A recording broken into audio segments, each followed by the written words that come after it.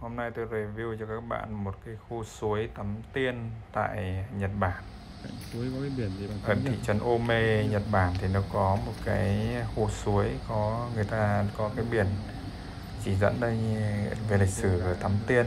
Thế nhưng mà chúng tôi thì không đọc được nội dung, không hiểu lắm. Có cái à, tượng của một người phụ nữ gần như không có quần áo gì đây tắm tiên như này.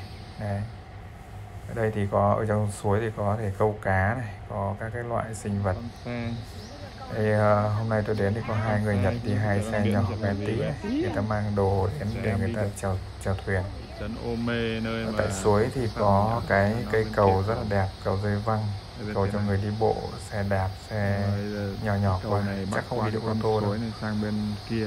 Dân sinh thôi cầu dân sinh bắc sang một cái vùng công viên công viên bên uh, cạnh suối đó thế thì à, à, hai ông nhật này ông ấy xuống cạnh suối ông ấy chuẩn bị xuồng này treo linh phụ kiện để ông ấy sẽ bơi này. bơi thuyền này con thổ suối này.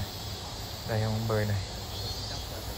Đấy, thì suối rất trong xanh thì mình có thể chèo thuyền như hai ông này để chuẩn bị. Cái để có những cảm giác chèo thuyền không để mình tắm tiên ở đây